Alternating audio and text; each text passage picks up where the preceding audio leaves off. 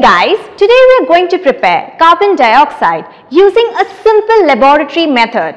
We will need a Woulfe bottle, a thistle funnel, a delivery tube and a glass jar. A Woulfe bottle is a double-mouth glass apparatus used in a chemistry lab to prepare gases. To get started, we need pieces of marble or calcium carbonate as the starting material.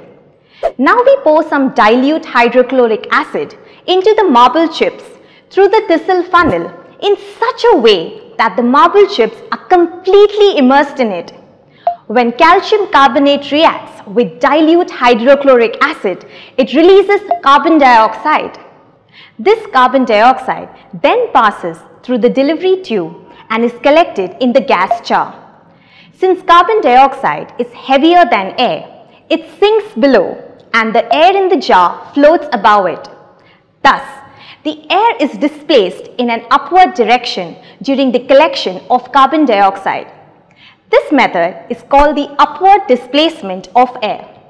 So we can clearly see that the density of carbon dioxide is more than that of air. It is about 1.5 times heavier than air. The first few bubbles of carbon dioxide gas are not collected. They are allowed to escape as they may contain air and other impurities. The remaining gas is then collected in the gas jar. Carbon dioxide is always collected over air and never water because it's highly soluble in water, which means it completely dissolves in water. Now that we are done collecting the gas, let us now check the nature of it, whether it is acidic, basic or neutral.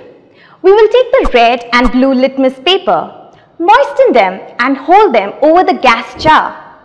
Since the blue litmus paper turned red, we know that carbon dioxide is acidic in nature.